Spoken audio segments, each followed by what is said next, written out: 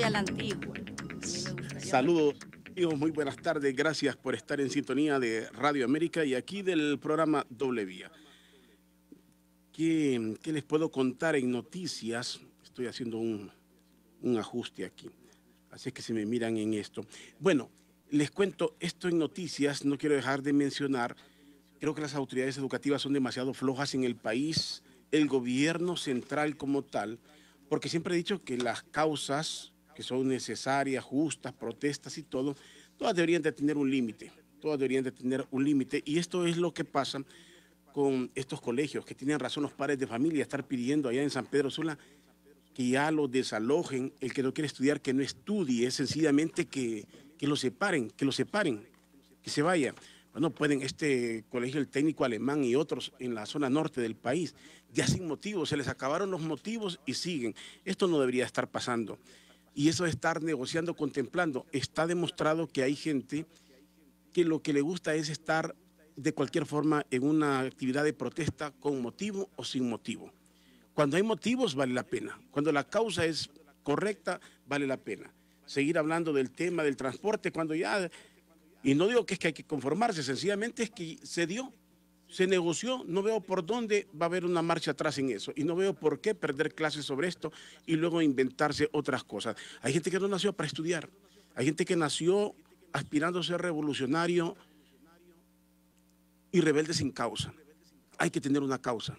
En Honduras hay muchas, y eso yo lo comparto, aquí hay muchas causas, hay mucho para protestar, hay mucho para cuantas cosas, pero también no se puede ir así a la zumba marumba, a, hacer cosas y que lo único que están haciendo es perjudicar a personas inocentes. Cuando un par de estudiantes, cinco, se toman un colegio, están perjudicando a la mayoría que quiere estudiar. ¿A qué altura del año estamos? Eso es increíble. Pero bueno, nota del día hoy fueron, fueron los operativos de la policía donde se ha detenido, escúchelo bien, si ustedes no lo han escuchado, obviamente ya es una noticia desde muy temprano el día de hoy, a un comisionado activo de la policía. Un comisionado activo de la policía a quien, de acuerdo al informe, no puede justificar 17 millones de lempiras, con un salario de 55 mil lempiras, seis casas, un promedio de 20 cuentas, según los datos que daban, seis viviendas y, repito, cuatro vehículos. Esto es parte de los activos que hablan de un comisionado activo de la policía. Otras dos personas, también policías, tanto en el Departamento de la Paz como en Choluteca. Hay otros seis miembros de la policía que están siendo también perseguidos. Los detenidos en este comisionado de policía, Lorgio Oquelí Mejía Tinoco, que repito, es el que dice la, misma autoridad que no puede justificar 17 millones de lempiras de su patrimonio, que no es congruente con su salario. Y Milady Moreno Dávila, en Choluteca, José Elías Bustillo, en el Departamento de La Paz. Hay otros seis policías activos y tres depurados acusados de asociación ilícita y cohecho. Se pueden imaginar que cada vez que hablamos de bandas delictivas y de cuántas cosas en el país, siempre nos vamos al término marero. Pero no sabemos qué está pasando con la misma autoridad. ¿Cuánto no ha hablado don Omar Rivera, don Carlos Hernández? Han hablado hasta la saciedad y aquel señor que yo no sé si sigue siendo pastor o ya renunció a ser pastor porque es el último lugar que va seguramente es a una iglesia. El señor Solórzano en cuanto a la depuración policial. Han hablado y que fue un éxito. ¿Hubo depuración o no hubo? ¿Se investigó o no se investigó? Por supuesto que esta es una acción que vale la pena aplaudir, decir que le están entrando y que se está deteniendo a la gente que no puede justificar, pero le demuestra que la depuración se quedó corta. Y una depuración que no se, nunca se explicó por qué se separaba a quién y por qué, por qué motivo. Sencillamente hubo depuración, o sea, separar gente, tirarla a las calles. Siempre pensamos que un policía así cualquiera que depuren en este momento, la imagen ante sus vecinos, ante su familiar, ante cualquiera, es que estaba en actos irregulares. Lo lógico es que la autoridad tiene que explicar, tiene que dar a conocer, depurado por tal cosa. Y si es porque estaba en una asociación ilícita o cometiendo delito, tenía que ir a un proceso. Tenían que acusarlo de algo y que se vaya a defender, obviamente, a demostrar su inocencia, porque ellos van con el objeto de demostrar su inocencia y la autoridad a demostrar el por qué lo acusa. Pero eso no lo hemos visto en nuestro país, eso no lo hemos visto. Y así es, entonces aquí se dio una depuración, o sea, tirar gente a las calles. ¿Qué pasa si usted tira a alguien que está en la vida delictiva a las calles, libre de todo? Sencillamente lo que deja de usar es el uniforme. O bueno, ¿cuántas policías o cuántos delincuentes supuestamente han detenido con indumentaria de la policía? y aquí han hasta emitido leyes de decir que el que encuentre con indumentaria de policía, si estamos viendo que hay altos cargos de la policía en actos delictivos en nuestro país. Esto sí debe de ser algo que nos debe de preocupar, el tratamiento que se le va a dar. ¿Qué fue lo que depuraron y qué fue lo que dejaron de hacer? ¿O hicieron más show con este caso? Son los temas. Hoy vamos a hablar de esto aquí en el programa Doble Vía y vamos a reflexionar sobre esto. Incluso lo podemos ligar con este tema de lo que pasa en los centros penales, cárceles de máxima seguridad y que suceden las mismas cosas que suceden en los centros tradicionales. La abogada Doris Imelda Madrid Cerón es abogada y notaria pública, es especialista en derecho penal y procesal penal en nuestro país. Aspiró a ser fiscal de la República. No sé si, si, si es decirlo así, si fue víctima de, fue víctima de, de qué, para no llegar ahí. Lo voy a dejar ahí, pero imagínense ustedes, si fue víctima de la política, de qué le tuvieron miedo o no, será otro tema. No creo que la abogada quiera hablar de esto. ¿Qué tal esta abogada? Gracias por atender la invitación aquí a Vía. Muchas gracias, Rodolfo, eh, por la invitación y también muchas gracias eh, al pueblo hondureño que a través tanto de eh, la televisión y la radio nos permite entrar a sus hogares. Eh, sí, definitivamente, pues eh, estamos viendo muchas noticias que cada día nos, uh, nos ponen un poquito más preocupados. Y realmente eh, la depuración llegó a su buen fin o no. Vemos aquí en lugares bastante cercanos como El Salvador, donde ha existido una política también de depuración, pero la política de depuración, tal como usted decía, no es solamente deje el uniforme, váyase a su casa. No, tiene que haber un programa eh, donde realmente estas personas que eh, fueron educadas para el manejo de las armas, para el conocimiento también del delito, de la prevención del delito, también eh, fueron preparadas para combatir el crimen organizado, fueron preparadas para eh, trabajar con la ciudadanía. Eh, no sabemos si la cuidaban o, no la cuidaban, ¿verdad? Pero el proceso va, ha ido adelante en esto. Con estos datos también del, de, que ha dado las noticias, para mí como especialista en derecho penal y procesal penal, dar una opinión al respecto y decir cuáles fueron los motivos y cuáles son eh, sería muy atrevido de mi parte y también bien irresponsable en el sentido de que tenemos que respetar esa garantía constitucional que tenemos todos los hondureños, que es la presunción de inocencia. Y eh, solamente un juez eh, investido de la autoridad puede violentar esa garantía con que todos los seres humanos nacemos. las noticias a veces nos alarman un poquito ¿verdad? Y, tal vez no nos están dando bien la información a los ciudadanos.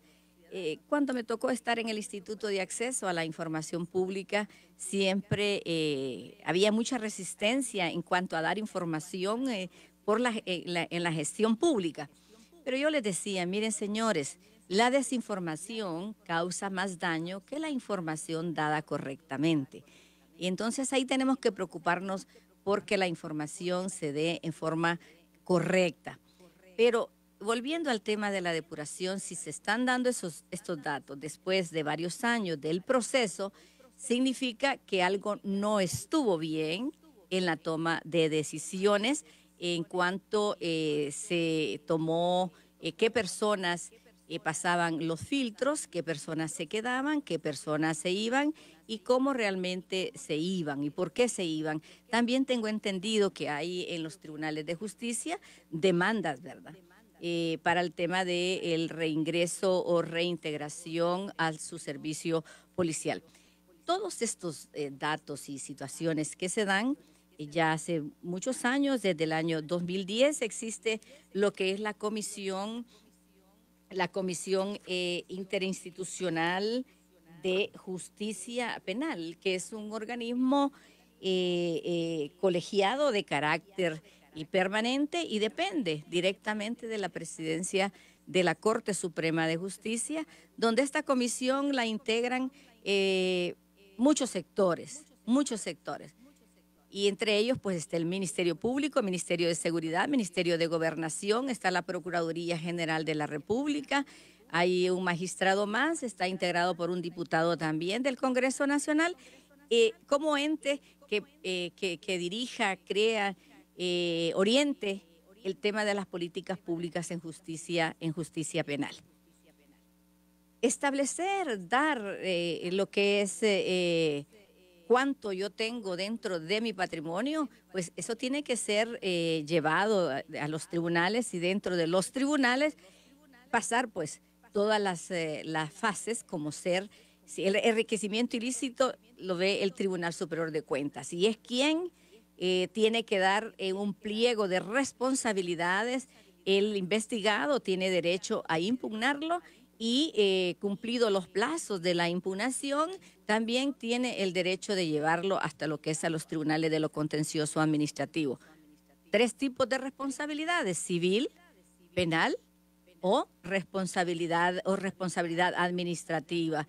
En la penal es donde el Tribunal Superior de Cuentas tiene que enviarlo, ¿verdad?, posterior a, lo que es eh, pasado todos los, eh, los derechos que tiene el investigado es pasarlo al Ministerio Público para que continúe con lo que es la investigación preliminar y realmente decir hubo enriquecimiento o no hubo enriquecimiento. Y luego pasa al tema de justicia penal, ya en los tribunales penales, donde la persona tiene derecho a defenderse.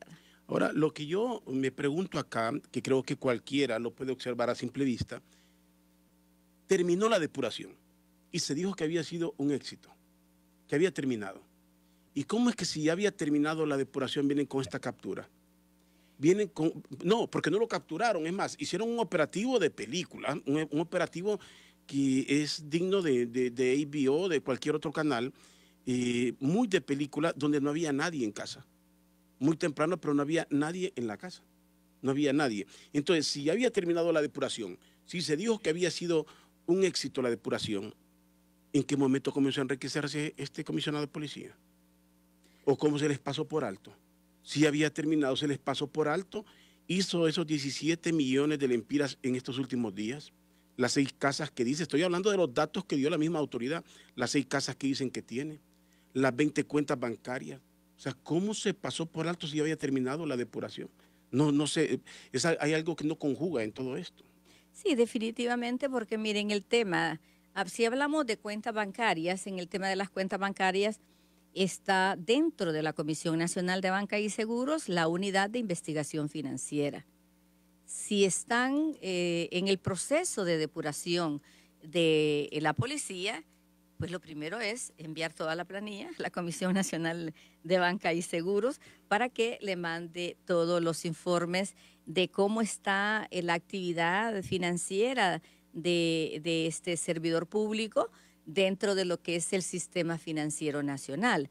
Y si es en el tema de bienes, de igual forma, los registros eh, en Honduras son públicos. El registro mercantil es público, el registro de la propiedad es público. Es más, cualquier ciudadano puede entrar eh, dentro de lo que es eh, en la parte de Internet ahora y buscar cuáles son los bienes que la persona tiene, ¿verdad?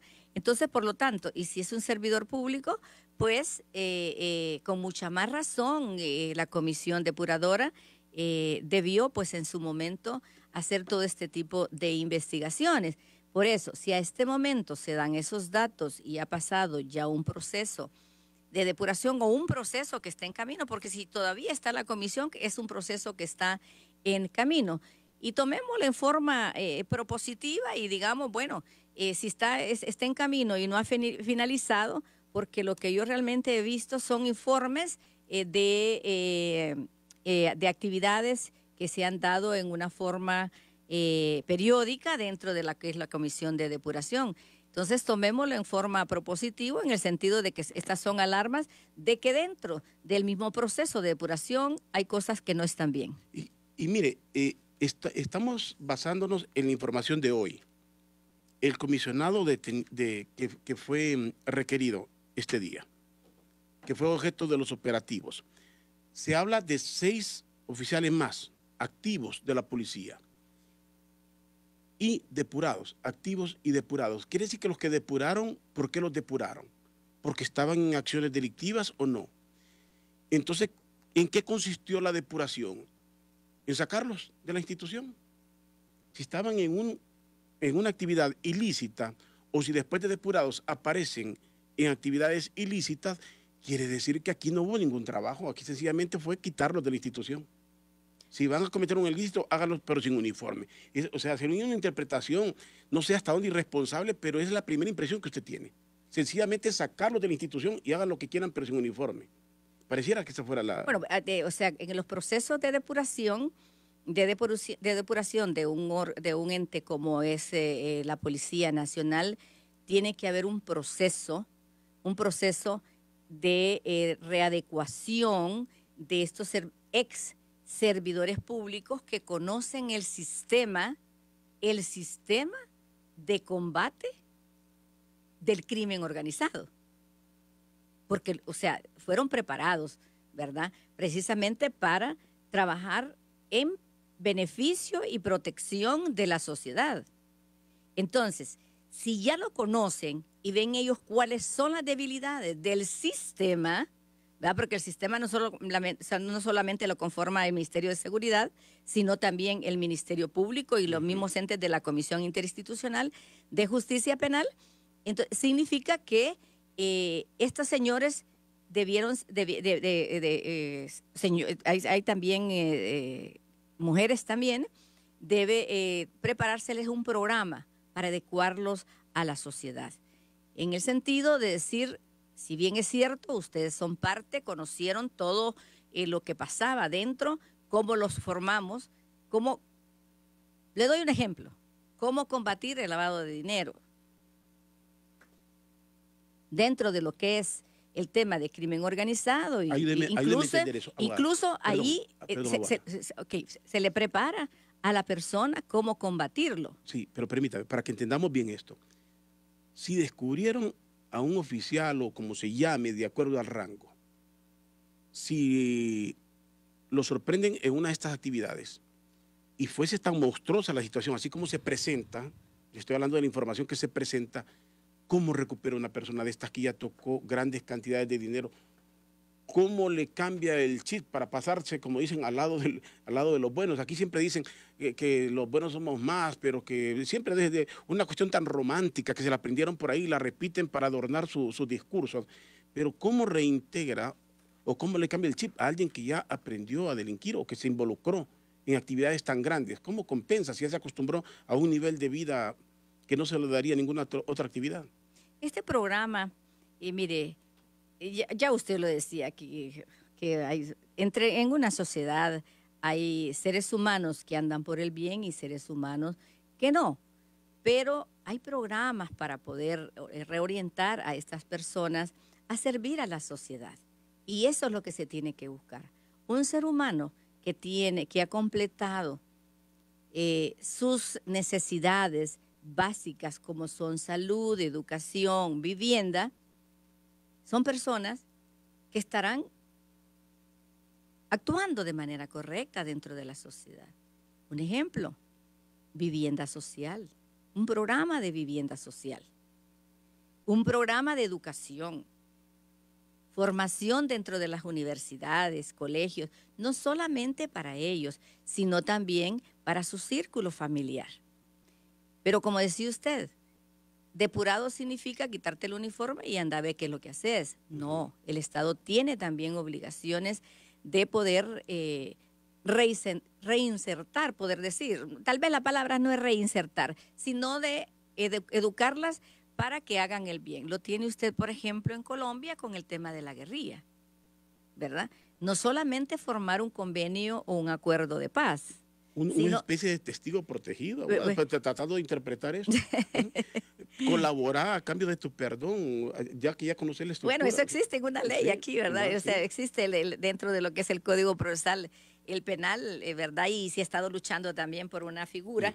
que eh, es la de colaboración o colaborador eficaz. Y luego el, el, otro programa que existe a nivel de materia penal también es la figura del testigo protegido, ¿verdad? Eh, que también una persona que colabora, ¿verdad?, con el combate al crimen, pues obtiene beneficios, siempre y cuando la colaboración que dé al sistema de investigación y, de, al sistema de persecución penal sea eh, una información que le sirva a, eh, al órgano persecutor para combatir el crimen organizado. Esos son programas, pues son programas realmente aparte, ¿verdad? De, este punto que estamos conversando. Pero sí el Estado tiene una gran responsabilidad, y no solo con eh, las personas que hayan salido de la policía, sino con los nueve millones de habitantes. La seguridad social eh, es para todos los hondureños, ¿verdad? El sistema de vivienda es para todos los hondureños. Entonces, ¿hasta dónde tanto ese eh, ropaje o ese abanico de obligaciones que el Estado tiene? Eh, tiene la capacidad de reacción y la capacidad de cumplir con esa gran misión de la protección tanto de la vida y la seguridad de los ciudadanos. ¿Cree usted que le faltó aquí a esta comisión? Por cierto, tengo unos mensajes. Voy a leer estos mensajes primero. Me dicen aquí, se ha repetido muchas veces que en la policía se fueron los que no debieron irse y que se quedaron los que no debieron quedarse. ¿Qué pasó? Aquí menciona el nombre de una persona, me voy a abstener, porque obviamente no... No, no, no entre a tema penal tampoco. La depuración, dice otro mensaje, fue selectiva. depuraron al que quería. Mire cómo lo interpreta la gente. Me pregunta una persona aquí que si yo creo, ¿acaso usted menciona mi nombre? ¿Acaso usted cree que en estas comisiones, ¿qué va a ser un pastor, un ingeniero de sistemas, etcétera? A ellos les queda muy grande el puesto para depurar algo y peor a la policía. Rafael Flores dice que escribe el mensaje. Otra persona dice, la pregunta mía es, ese comisionado de la policía, ¿cómo abrió esas cuentas en tanto banco? Para mí los bancos son cómplices, dice la persona que escribe aquí. Déjame, por supuesto que estas informaciones dejan más preguntas que respuestas, como siempre se dice, ¿no? Dejan tantas preguntas, ¿qué va a pasar? El hecho es, se depuraron que policías por colaborar, por hacer un servicio de vigilancia, ¿por qué? O se depuró a personas que estaba ya moviendo, que se movía a otros niveles. ¿Qué pasó con ellos? Le faltó respuesta al Estado decir por qué se fueron todos los que se fueron. y a todos hay que presumir los eh, delincuentes. ¿Cómo habría que presumirlo? Imagínense que lo grave de esto. Ahí voy eh, a, entrar nuevamente al tema que siempre me ha gustado mucho, que es el derecho de acceso a la información pública. Cuando tenemos en, en un país a un ciudadano bien informado de la gestión pública, ese ciudadano va a colaborar con la gestión pública. Pero cuando se nos esconde información a los ciudadanos, entonces entramos en la fase de lo que es eh, la sospecha, luego seguimos en la siguiente fase, que es el morbo, y luego seguimos en otra fase, que es la destrucción, cuando realmente falta información para los ciudadanos de la gestión pública. El derecho de acceso a la información no siempre lo, toman como, como, como muy minúsculo. Y es una herramienta transversal del Estado para que los ciudadanos colaboremos con la gestión pública. Los ciudadanos, al recibir la información, tienen una gran obligación y es el principio de máxima divulgación de la información que reciben. ¿Eso es decorativo eh, en el país actualmente, abogado? Mire, no, debería ser decorativo, pero todos los sectores deberían participar en que ese derecho de acceso a la información eh, eh, realmente como derecho humano fundamental se practique, porque la gestión pública del Estado también tiene un gran principio que debe cumplir en todos sus actos, que se llama el principio de máxima publicidad. Mire, existe la ley, eh, existe una ley de depuración policial. Entonces, esta ley fue aprobada eh, según el decreto 89-2012 y fue publicado el 25 de mayo del 2012. Fue emitido por el Poder Legislativo y se llama Ley Especial para la Depuración eh, Policial. Eso sirve para presumir, eso, perdón mi abogada, es que cuando yo escucho eso, sirve para discursos internacionales, para cuántas cosas, decir un gobierno, ok, tenemos una ley de depuración porque estamos depurando una policía, eh, tenemos una ley de acceso a la información donde nadie se escapa y todo el mundo conoce la información pública. Tenemos una ley de transparencia. Ok, eso carga un discurso de lo más precioso y da la imagen de un gobierno excelente. Pero por eso le decía, todo esto es más decorativo que real, Aguad. Yo pienso que, que no. O sea, eh, eh, dentro de la de la poca información que, que, yo he escuchado, no he dicho que, no digo que han dado, sino que la que yo he escuchado, está dentro de eso el tema, la elaboración de las pruebas de confianza, de las pruebas de confianza. Recuerdo perfectamente que durante estuve en el Instituto de Acceso a la Información, de que se le ordenó a, en ese momento al organismo de depuración policial eh, rendirle informes a la sociedad incluso que de las pruebas de confianza, por ser, tener datos personales confidenciales, por ejemplo, como los estados de salud, una persona que sea adicta es un dato personal confidencial. Entonces, eh, eh, se les ordenó que dieran la, eh, la información a la sociedad únicamente diciendo quiénes son aptos ¿Quiénes resultaron aptos o no aptos en las pruebas de confianza. Para nosotros fue una enorme sorpresa que el mismo director de ese momento eh, interpusiera recurso de, reposición porque dijo que primero era el honor de los policías, que había que respetar el honor de los policías. Entonces nosotros, eh, dentro de lo que fue el sistema del el Instituto de Acceso a la Información, nuestro pronunciamiento fue que ahí existe dos tipos de intereses. El, el, oficial, el servidor público en el ejercicio policial, cuida a la sociedad. Le pagamos nosotros como sociedad para que nos cuiden con nuestros impuestos. Por lo tanto, tenemos derecho a saber quién nos cuida. ¿Realmente nos cuida o no nos cuida? Entonces, ahí viene un choque que lo que se llama es el interés personal sobre el interés social. Todos los seres humanos tenemos derecho al honor, a la imagen, a la protección de nuestra intimidad, a la protección de nuestra familia. Pero en el caso del servidor público en el ejercicio policial, es un servidor público. Ahí hay una combinación, que es el servicio público con la persona humana. Pero la protección de la persona humana no está sobre los intereses de la sociedad.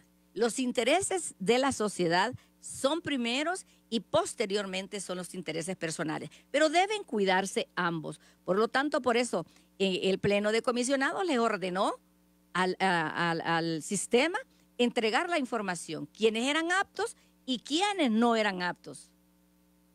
Eso se fue eh, a la sala constitucional. Y la sala constitucional le dio la razón al Instituto de Acceso a la Información Pública. Está la sentencia de la sala constitucional. Ahora, la pregunta es, ¿sabemos quiénes fueron aptos o no fueron aptos en las pruebas de confianza? Yo por lo menos no lo he visto así en ese sentido, ¿verdad? ¿Por qué? Porque la sociedad tiene que evaluar la sociedad tiene derecho a saber quién la cuida, porque nosotros con nuestros impuestos pagamos al servidor público en el ejercicio policial. Bueno, hay tantas cosas acá. Alguien me escribe aquí que dice que él denunció de robo a un policía, me da el nombre, me, voy a abstener de dar el nombre. Él lo denunció, aquí lo pone el nombre de la persona, del policía al cual denunció, y que le dijeron que había muerto, esa es la información que le dieron, y dice que él fue a registro de las personas y que la persona está viva. Imagínese usted, cuando un ciudadano trata de colaborar, trata de hacer la denuncia, lo que le piden a toda la gente, que denuncie. Otra persona nos dice aquí, ese alto oficial en 2016 de la Comisión de Depuración lo puso lista para cancelar, pero como no tenía la decisión del ministro, aquí se me fue el otro dato de la información. Me dicen acá, la pregunta es, ese comisionado de la policía, ¿cómo abrió esas cuentas en tanto banco?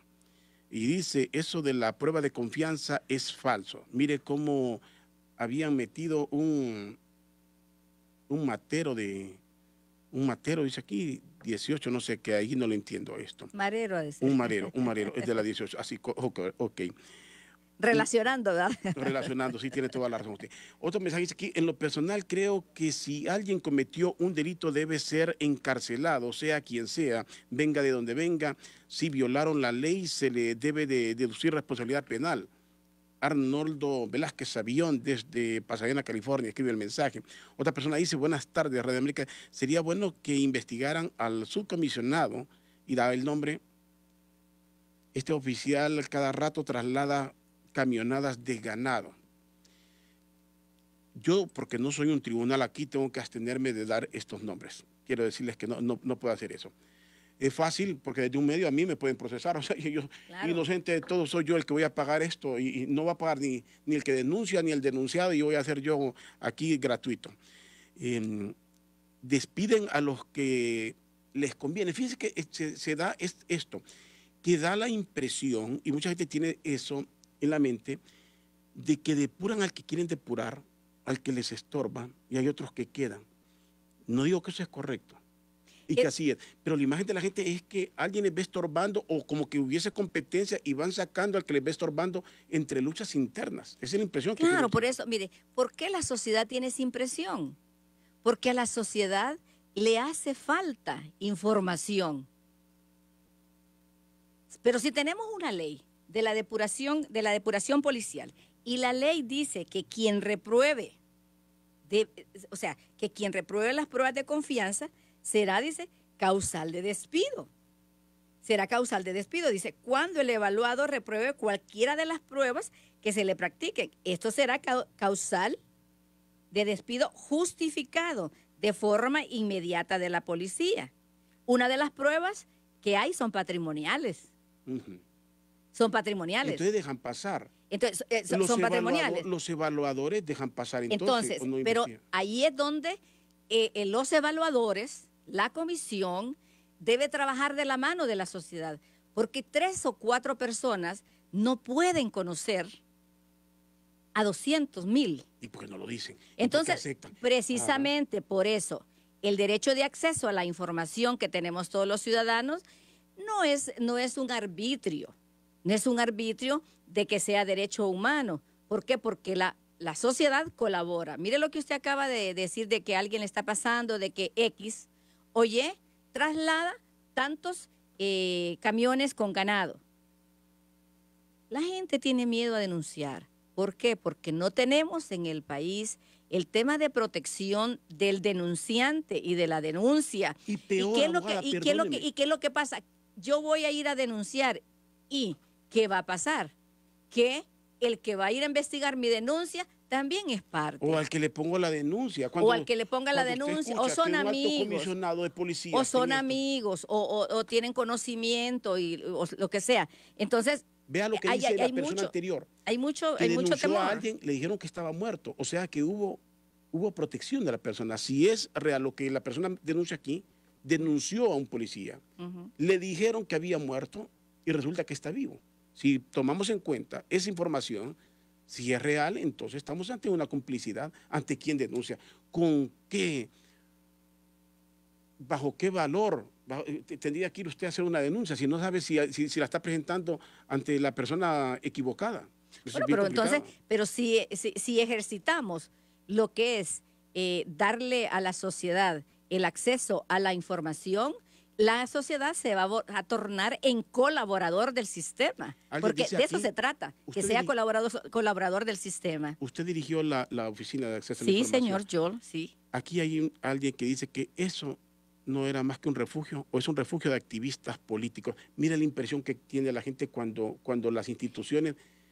¿Por qué fallan estas instituciones? Comencemos, ¿por qué fallan? ¿Por qué, por qué tienen un nombre tan rimbombante con pocos resultados? No solamente, eh, no solamente el Instituto de Acceso a la Información Pública.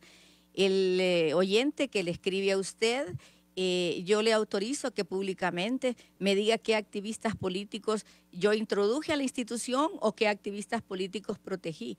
Al contrario, no se protege a personas, se protege un presupuesto, un presupuesto de una institución.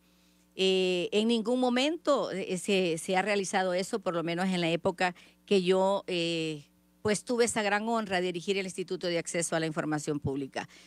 ¿Por qué eh, usted, la pregunta suya es eh, que por qué estas instituciones tan debilitadas? En realidad es sencillo. La falta de presupuesto que el Estado mismo le otorga a las instituciones. Un ejemplo que yo lo viví, el Instituto de Acceso a la Información Pública tiene 11 años de estar dentro de lo que es el engranaje administrativo y tiene el mismo presupuesto del 2006. Ahora, aplíquele el deslizamiento de la moneda. En el 2006 eran 32 millones, pero ahora aplíquele todas las devaluaciones y el deslizamiento de la moneda. El instituto está siendo manejado con 17 millones de lempiras. Cada día menos. Entonces, y es al revés. Cada día tiene que ser más. tiene que, tiene que ser más. Yo entiendo eso, abogado. Yo entiendo eso y y se, argumenta mucho en la falta de presupuesto, en, la poca respuesta de algunas instituciones. Comencemos por la misma policía. ¿Recuerda usted cuando se creó la tasa de seguridad? ¿Cuál era el argumento? Se decía que no habían instrumentos y que para que la policía tuviese la logística, para que se pudiera pagar buenos salarios y cuántas cosas se inventó la tasa de seguridad. La tasa de seguridad es millonaria y todos los días usted sin darse cuenta está pagando para esa tasa de seguridad. Y se ha resuelto el problema.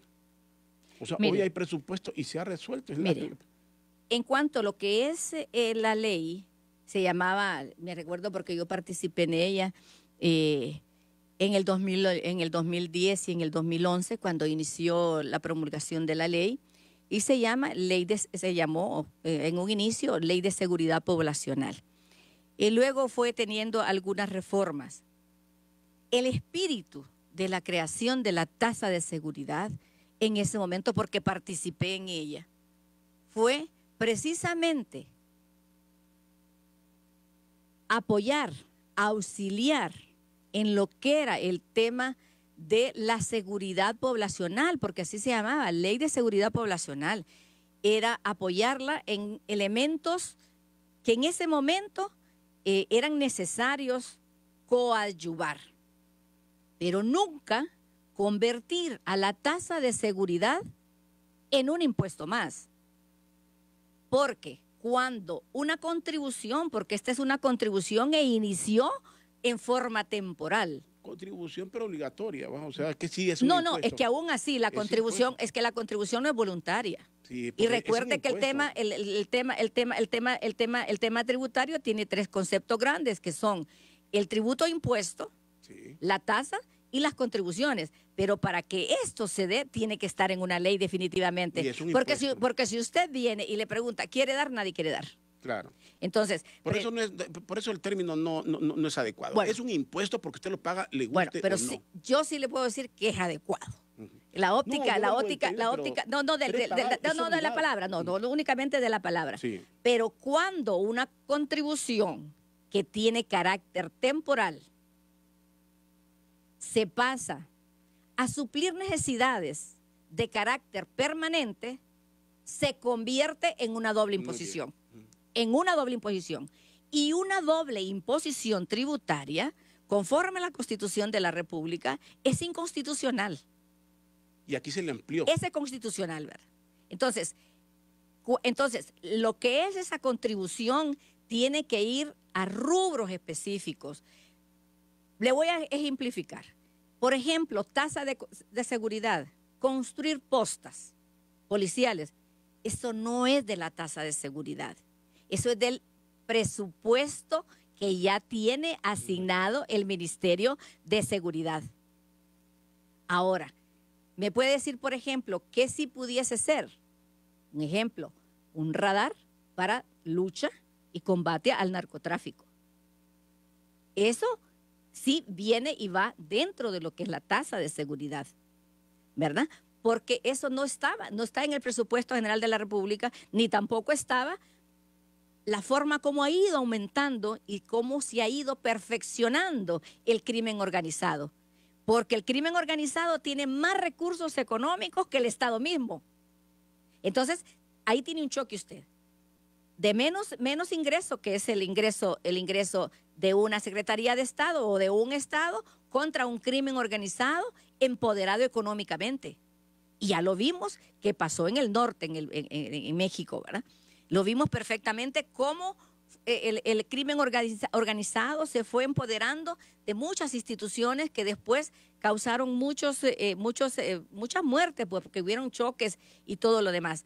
Entonces, a esas necesidades, conforme se va perfeccionando el crimen organizado, es a donde debe entrar mi contribución, que mi contribución es excepcional para el tema de mi seguridad como ciudadanos. En eso de la tasa de seguridad pasó hasta para construir canchas, se argumentaba tantas cosas para desviar, para justificar programas que iban más orientados a, perfiles políticos, a perfiles políticos, hacer obras de caridad supuestamente con la tasa de seguridad que tenía que ir para resolver los problemas. Alguien nos escribe aquí, dice, quisiera decirles que yo fui depurado hace dos años y no tenía ningún informe que me que me impida el seguir laborando y no me han pagado mis derechos laborales. Eso ha sido triste para mí. Y da las gracias aquí por leerle su mensaje a la persona. Imagínense, lo depuraron. ¿Por qué lo depuraron? Si no había ningún ¿por qué lo depuraron? Entonces, ahí es donde regresamos a lo que fue el inicio del programa. Ese ser humano, ese servidor público, que en su momento e-, ejerció actividades policiales, también tiene una familia. También tiene menores de edad que van a la escuela. Posiblemente, no digo que sea el caso, pero que dentro de su casa hay una enfermedad de una persona con minusvalía. Pero en ese caso, que no es ningún delito, le bueno, pero le tenían que haber informado al ciudadano y a la sociedad. Imagínense que, imagínense que si no se le informa en sí a la persona que fue, eh, que, estuvo dentro del, procedimiento y del sistema, mucho menos el informe que la sociedad debe tener, ¿verdad? la sociedad tenemos derecho a saber quiénes aprobaron, quiénes no aprobaron y como les repito, ya hay un fallo de la Sala Constitucional al respecto. Lo que sí no pueden decirnos es en qué pruebas fueron las que eh, eh, reprobaron, porque allí hay muchos datos personales confidenciales y en eso sí tiene que respetarse la privacidad de la persona. Pero Carlos Martínez o Perico Pérez, ¿aprobó o reprobó? ¿En, qué estamos violentando sus derechos humanos? En nada. Sencillamente, sencillamente informándole a la sociedad. Ahora, yo créame que no le creo a la persona que escribió que no le hayan dicho por qué. Porque la ley de la depuración policial dice que se le debe de decir. Entonces, ¿cómo él va a demandar y va a ejercer sus derechos? ¿Con qué documento va a ir a interponer el reclamo administrativo? Entonces, usted sí le dijeron que, todos los que han sido depurados sí, saben, eh, sí saben exactamente por qué. Saben exactamente por qué sí saben. O sea, somos nosotros como ciudadanos los que no sabemos. Los que no sabemos somos nosotros, porque la, misma comisión de depuración nos veda el derecho de acceso a la información de saber el porqué. Imagínese usted, y la información de hoy, luego de estos operativos, es que entre las personas, entre las seis oficiales de policía, hay algunos que son depurados. Entonces, no sabíamos, ellos sabían por qué los estaban depurando. No, para o sea, en, eso sí yo le... grave, es una no, pero, pero en eso sí yo le puedo decir con certeza, eh, no, no ha sido publicitado, pero sí eh, toda persona que eh, sale de una institución del Estado, no solamente del sector de seguridad, del Ministerio de Seguridad, existe una resolución administrativa y se le dice por qué. Lo que pasa que la persona también cuando dice, cuando existen estos eventos y todo, jala también agua para su molino y respeta su propio kiosco, pero eh, sí la obligación de todo servidor público que maneja una institución del Estado, cuando toma decisiones, tiene que emitir una resolución porque eso se lo manda la ley y tiene que informarle a la persona o las personas involucradas. Abogada, le voy a preguntar también aquí, me salgo del tema porque también le había pedido que habláramos de esto. Antes leo un mensaje que nos escribe aquí, bueno, se identifica como Real España, dice aquí en su, en su mensaje, en el Facebook, dice, no había nadie en casa porque las mafias dentro de la policía ya les habían avisado. Y con respecto a la Comisión de Banca y Seguro, esa es otra organización que da risa porque ¿cómo es posible que sean tan ineficientes de que no puedan detectar el lavado de dinero? Eso es lo que escribe la persona. Esos mensajes están ahí en el Facebook de Radio América y ahí los pueden ver para la fidelidad de los mismos y ahí hay también otros mensajes.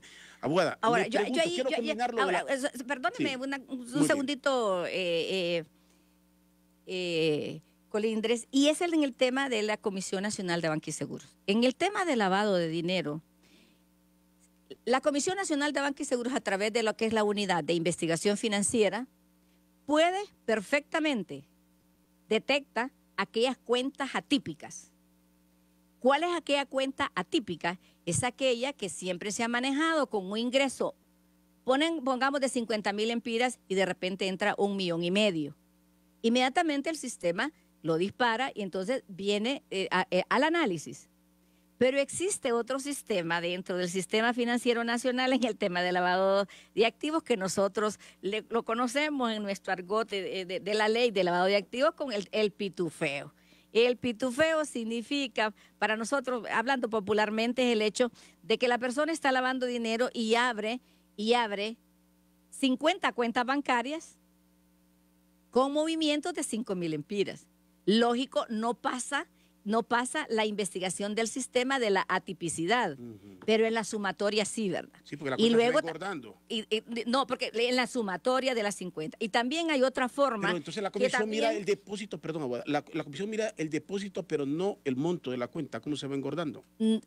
No, lo que pasa es que no es que se va engordando, sino que es una forma constante que va ingresando y va saliendo. Ah, ok, muy no, Va, ingresando y va saliendo. correcto. En los pueblos donde la gente, y eso la gente tiene que tomar mucho cuidado en esa situación, le dice, préstame tu cédula de identidad, vamos a abrir una cuenta a tu nombre, va a ingresar 10 mil empiras al mes, vos te quedas con, con dos y me das ocho a mí. Y es común. Sí, gente que no tiene trabajo, hay que entender ante la necesidad. Mira el señor que llevaba los 150 mil dólares en una hielera con los pescados, que yo lo vi, que lo vi en la noticia. Él dice, a mí solo me, me, me iba a ganar unos centavos para que trajera la hielera de Ceiba a San Pedro Sula. Muy bien. Y yo le creo al señor de los pescados, le digo que sí le creo. Alguien escribe aquí, o sea que según dice la abogada, los parques no corresponden a la tasa de seguridad. Miren, los parques, los parques que se han construido, los ha construido la empresa privada, en su gran mayoría, la empresa privada y se lo dicen los mismos empresarios. Por eso ustedes van a ver que en esos parques tienen mucha publicidad. Pero yo quería que eran construidos totalmente. Es una colaboración, son fundaciones y generalmente son las empresas privadas. Y el Estado puede tener los terrenos para el caso. Digamos, el, campo de Parada Marte, obviamente corresponde al mismo Estado. Pero quienes construyen son los mismos empresarios. Ahora, eh, con el permiso de todos. Es que no, hablamos de las cárceles, me doy el tiempo. Lo que está pasando en las cárceles. ¿Por qué las cárceles de máxima seguridad? ¿Cómo, mira el problema de las cárceles? Los mismos problemas y no importa cómo le llaman, tolva, pozo, eh, agujero galáctico, como le quieran llamar, el resultado es el mismo eh, eh, en las cárceles. Mire, el Estado, ¿verdad?, creó lo que es la Comisión Interinstitucional de Reforma Penitenciaria. Y eso fue el 9 de mayo del 2003. 2003 a 2015, perdón, a 2018, estamos hablando de 14 eh, años, vamos a decir, 15 años. Entonces, lo que tenemos que, eh, donde tenemos que centrarnos es son en esos 15 años, ¿verdad? En esos 15 años. Porque no vamos a hablar de lo que pasó atrás, que fue peor y pasaron tantas cosas, ¿verdad? Bueno, entonces, hay un informe sobre la situación del sistema penitenciario en Honduras ¿Qué es lo que contenía ese informe?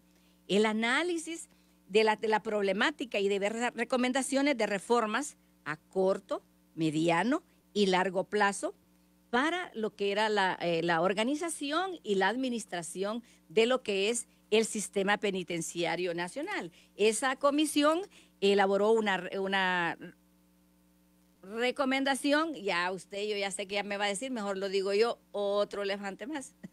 Pues Porque yo sé que usted me lo va a decir, entonces lo digo yo primero, eh, antes de que usted lo diga. Pero bueno, démosle el beneficio de que sí están trabajando.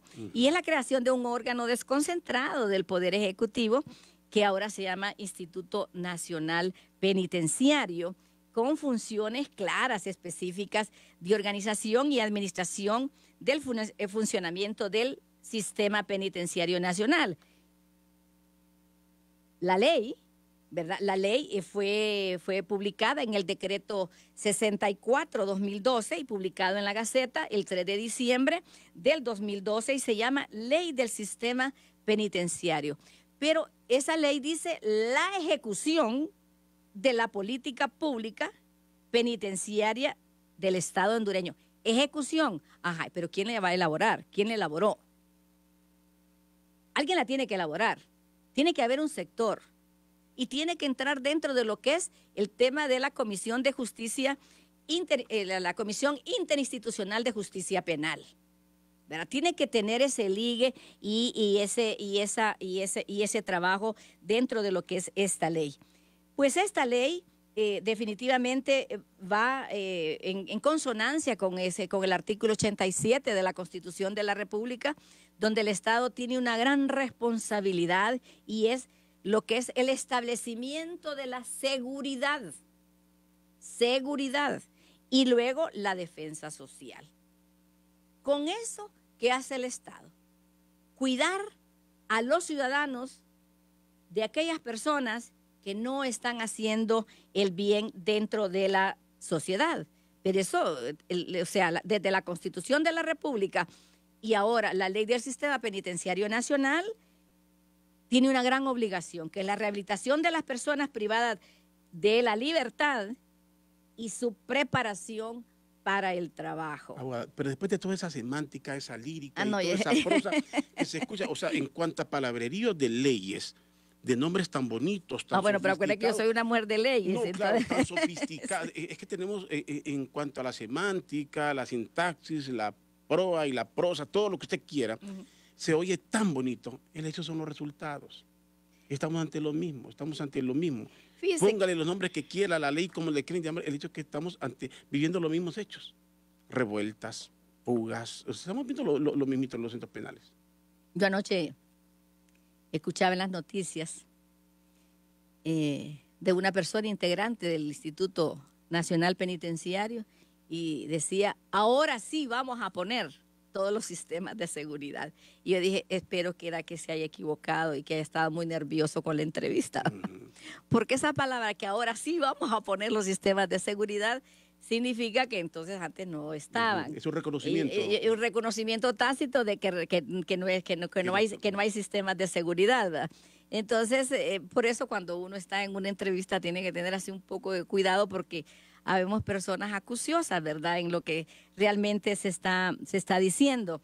Eh, y bueno, eh, los establecimientos penales, tanto en lo que es la ley y, la constitución de la República, eh, constituyen un gran elemento del sistema de justicia penal, definitivamente, porque Honduras, a través de todo su presupuesto y su política, y el ejercicio de las políticas públicas tiene que garantizar la seguridad de los habitantes de la República, porque, un ejemplo, un violador en serie no debe, que, no debe estar fuera, pues, ¿verdad? Debe estar recluido, pero recluido significa que el Estado tiene la obligación de hacer esta reinserción social. A mí me consta dentro del ejercicio penal que ha habido personas que eh, sale y no está ni seis meses fuera de prisión cuando regresan. Y muchas veces porque se, se, sienten mejor adentro de la cárcel que afuera. Y con posgrado. Con maestría. Con maestría. Se me fue el tiempo, abogada, y ese tema lo dejamos pendiente porque sí es bastante amplio. El hecho es que tenemos una serie de leyes, de instituciones con nombres rimbombantes, como digo, semánticamente eso es precioso, y en la construcción literaria maravilloso, para efectos de discursos vendidos internacionalmente, excelente para el gobierno, con resultados pésimos dentro de la realidad nacional. No hay, no hay rehabilitación, estamos viviendo lo mismo de siempre en los centros penales y en la policía, pues ya hablamos bastante de eso. Le agradezco, abogada, y espero que concluyamos este tema, porque hoy se me acabó el tiempo. Le agradezco, abogada Doris Imelda Madrid. Bueno, muchas gracias por la invitación y este definitivamente eh, el Estado de Honduras ha sufrido muchas condenas eh, internacionales, eh, nacionales e internacionales, precisamente por no cumplir con la seguridad que deben tener los centros penales y con el sistema de rehabilitación y reinserción dos, puntitos nada más que lo acordamos bien, la granja penal de Comayagua y la granja penal en La Ceiba. Las condenas han sido muy fuertes. ¿Cuánto, cuánto, cuánto se ha pagado en condenas? El Estado de Honduras. Mejor, esas posibles cantidades que nos van a condenar por no hacer lo que dice la ley y lo que manda la ley, mejor invirtámoslo en los seres humanos que están de, eh, privados de libertad, que también tienen derechos igual que nosotros. Muy bien, abogada. Vamos a continuar sobre eso. Pero hoy me tengo que ir obligatoriamente aquí. Gracias, eh, abogada Doris Imelda, y gracias a todos por sintonizarnos aquí en W.